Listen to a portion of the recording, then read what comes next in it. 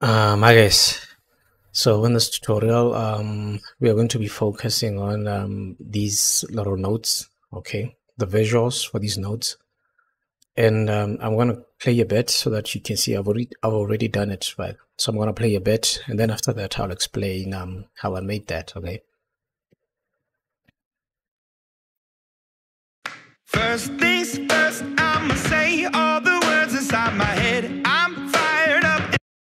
Okay, so you saw those little guys that are coming. I'm gonna pause.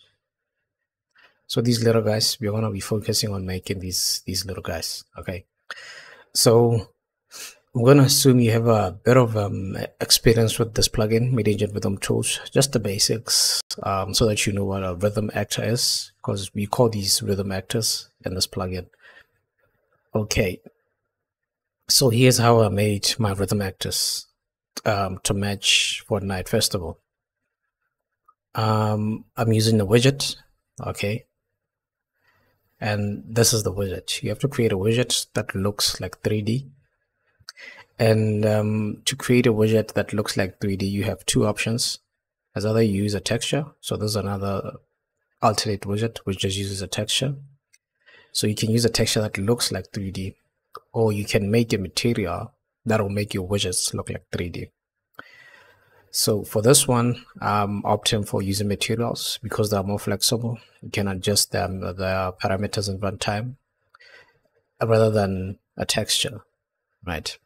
If you want to know how to make um, fake 3D UMG elements, you can just come to um, this channel my channel and then search um, for this video which teaches you how to make 3D elements, fake 3D elements in UMG. I'm not going to cover that right now, but I just wanted to let you know how I made this um, fake 3D button. So you have your widget, either it's this or that. So to make the rhythm actor, this is the rhythm actor. Uh, I'm assuming um, some level familiar, familiarity with this, with the rhythm actor term, because it's first introduced here. But in short, it just means um, it just means these notes that you see here that are coming down the note highway. So instead of using a static mesh, what I've done here is I went ahead and deleted that static mesh and I replaced that with the widget component. And inside the widget component, I've selected uh, my, my fake 3D button, which is this one. If you want to learn more about um, widget components, there's a tutorial right here. You can follow that. But going back, I used the widget component and then I kind of tilted it around 45 degrees. Okay. So this is a flat image. It's a 2D image, but I've, I've rotated it 45 degrees. So this is how it will look when it comes towards you or the player.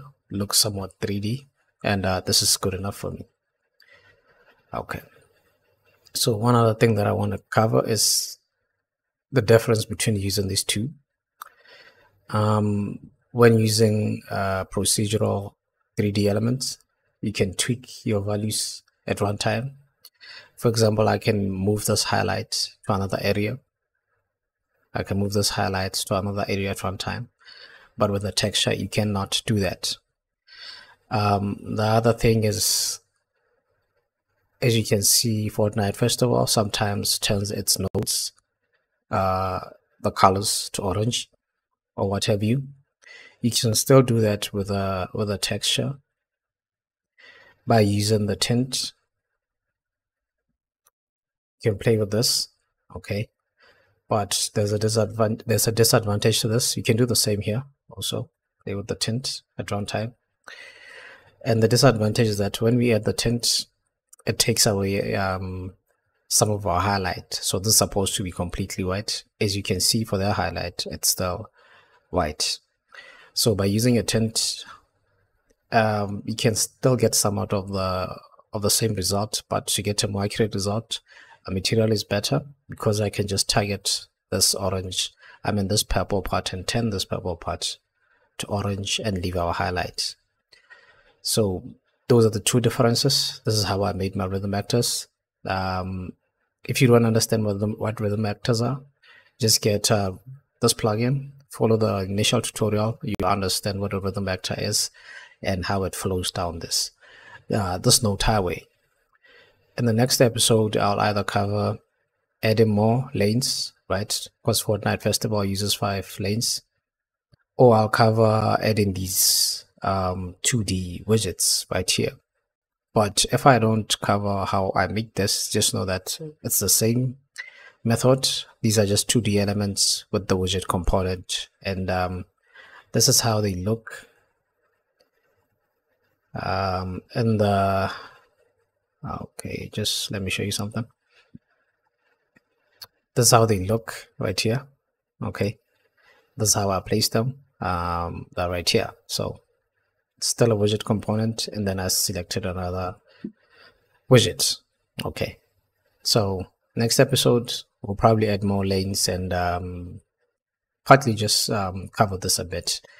And uh, move our widgets. We'll probably just create this one too and that one so that we can um, complete the series faster.